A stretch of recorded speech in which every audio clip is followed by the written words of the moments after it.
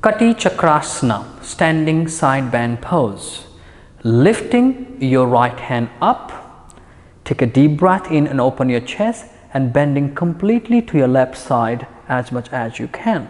Remember one thing, try not to push forward or backward. Make sure you're only bending to your side and feeling the squeezing towards your left side of the waist. Make sure you don't push the shoulder up too near to your ear. Make sure your shoulders always stay back and neck is relaxed. That's called standing side bend pose or Kati Chakrasana. We can come back with inhalation, exhale hand down and we try other side. Left hand up, deep breath in and as you exhale, we bend other side. You relax your shoulder back and down, draw the belly in and hold it there for a couple of seconds.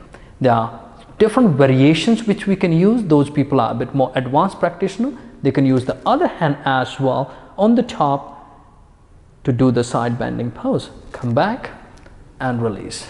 There are a few more variations which we can discuss in this. Number one, you can lift your hands up, interlock your fingers and first two finger pointing up, others folding down, deep breath in and bend to your side. There are some other variation where you use your bottom hand to hold the top wrist and keep stretching to get a deeper side bending. Come back center. There are a few more variations.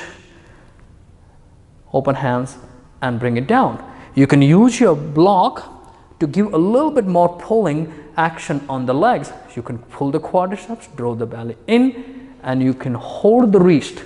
Make sure you push the down wrist to the side as well. Make sure to get a deeper stretching. Hold there for a couple of breaths and you can come back, release your posture, take out the block and go back to Tadasana.